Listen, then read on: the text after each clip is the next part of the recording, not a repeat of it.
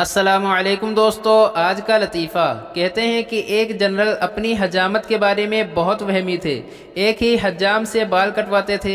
Martial लगाने के बाद भी उन्होंने अपने पुराने हजाम को पास बुला लिया।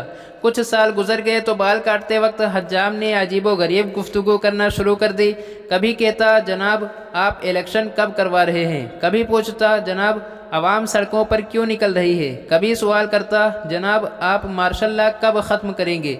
एक दो दफ़ा तो जनरल ने हूँ हाँ में जवाब दिया, मगर जब हजाम के रवैये में कोई तब्दीली ना आई तो उन्हें यकीन हो गया कि ये हजाम ज़रूर किसी सियासी जमात का एजेंट है। हजाम को गिरफ़्तार करा दिया गया। खूब मारपीट के बाद उसे फिर जनरल के सामने लाया गया। तो जनरल ने पूछा हाँ अब बताओ तुम किस सियासी जमात के एजेंट हो? हजाम ने हाथ जोड़कर कहा, जनाब मेरी दस पुश्तों में भी किसी ने सियासी जमात में हिस्सा नहीं लिया।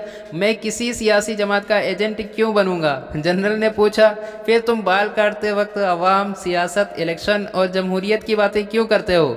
हजाम ने कहा, वो इसलिए जनाब, मैं आवाम और जमहूरियत का नाम लेता हूँ तो फ़ौर आपके बाल खड़े हो जाते हैं और मुझे काटने में आसानी रहती है।